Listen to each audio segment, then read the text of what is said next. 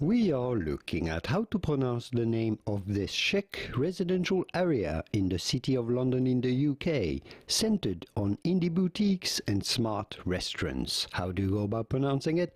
It may look like it should be pronounced Marylebone, but it's not at all how it is said in the UK or in London, at least. It is usually pronounced as Marylebone. Pretty straightforward once you know actually, but you have to ignore a few letters. Marylebone, Marylebone. Here are more videos on how to pronounce many city names as well as famous places names all around the United Kingdom. See you there to learn more.